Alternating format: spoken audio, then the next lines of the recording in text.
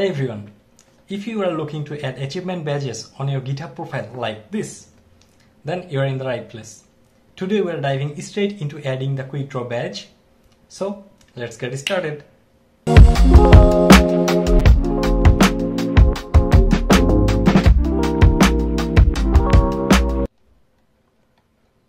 As you can see, this is our brand new GitHub account.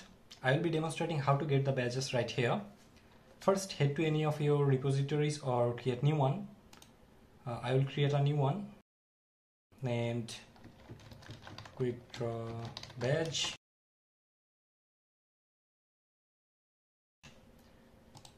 Then click on issues, create a new issue, give it any title, submit the new issue and close it. Now, if we check the profile, you should see the badge right here. Voila. If you found this video helpful, consider subscribing for more content and catch you in the next one.